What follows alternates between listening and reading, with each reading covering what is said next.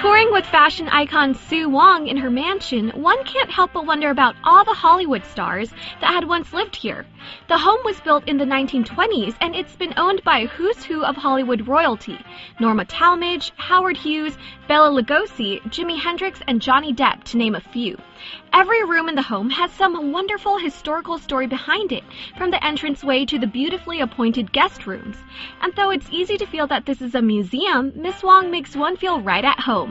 10,000 square feet can be a little overwhelming, but Sue Wong does have a favorite spot in the house. Well, I just really see the entire place as a work of art.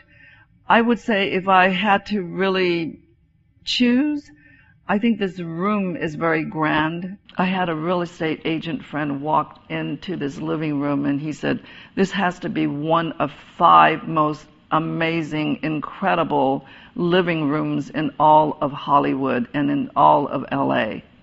So if I had to choose another intimate spot, I would say the Jimi Hendrix room, which I really created a really beautiful Moroccan sitting room. It's a banquet sitting room. So that's where I have uh, a gathering for intimate friends when they come to visit.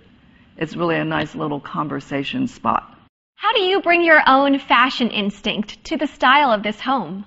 Well, I really feel that the cedars and the Sue Wong style, which is really vintage, romantic, uh, very feminine, rich, opulent, is really a total synonymous match.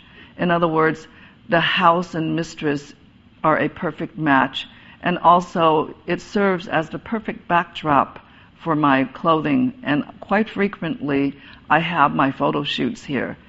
Sue Wong was born in China and made her way to the United States as a child. She started sewing her own clothes when she was nine years old.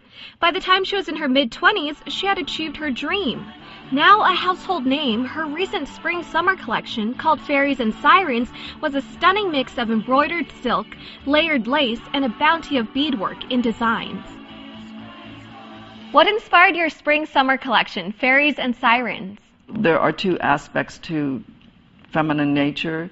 The fairy is really, you know, when we really go towards the light and maybe we play our Cinderella roles and then there's the wicked witch, you know, there's, there's the wicked queen in Snow White who is much more complex and she is more layered, but she was totally seductive and beautiful. So I think I tried to really play those two roles against each other, and I think you really saw that at my fashion show, which was very, very provocative and very uh, interesting. Besides creating stunning dresses that recall a bygone era and bring romance and glamour to women everywhere, Sue Wong's sense of style, of feminism, and sensuality never fails to raise the bar for all the other designers and never fails to deliver to women all over the world. Does your Asian background ever influence your collections? I would describe myself as a true hybrid between the East and the West. I really am a true bridge between both worlds. While being Western, I grew up here. However, I retain 5,000 years of DNA memory and recall of my Chinese and Asian heritage. I'm very proud to be Chinese. I'm really proud of the teachings that my parents had imparted upon me to really be a decent human being, to really have integrity, to really live in truth.